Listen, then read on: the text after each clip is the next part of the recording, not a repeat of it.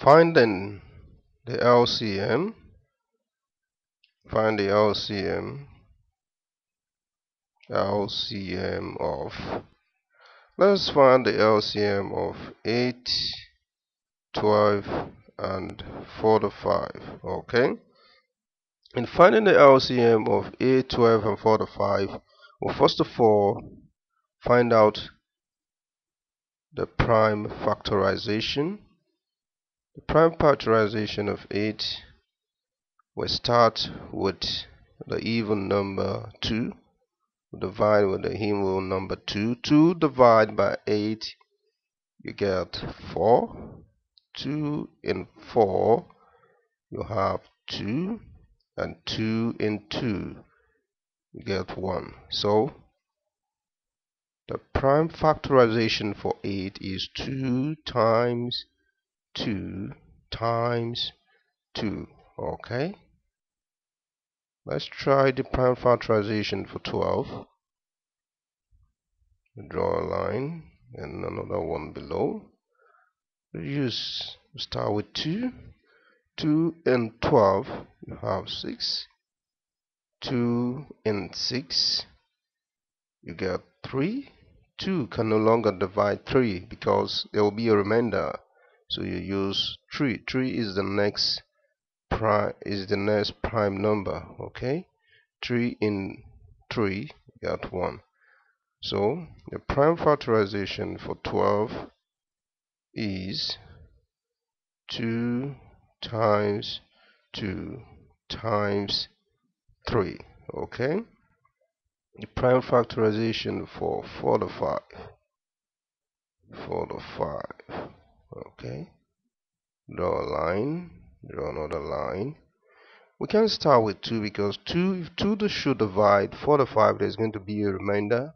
So let's go to 3 yeah 3 can divide without a remainder.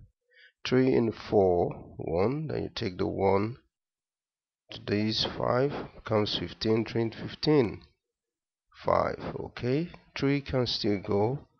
3 in 15 you have 5 okay 3 can no longer go so we try the next prime number which is 5 5 and 5 1 so the prime factorization for 4 to 5 is 3 times 3 times 5 okay so what's the LCL the LCM like you know like we know is